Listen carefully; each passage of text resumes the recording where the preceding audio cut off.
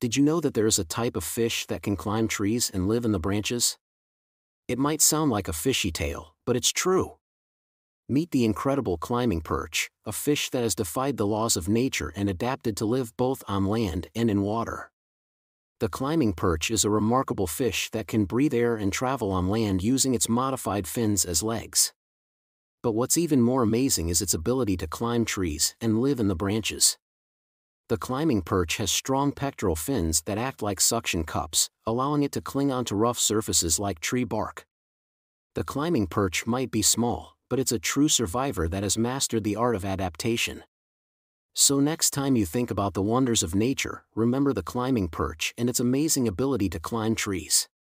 Don't forget to like, share and follow TikTok Mind Bites for more mind-blowing did you know fun facts.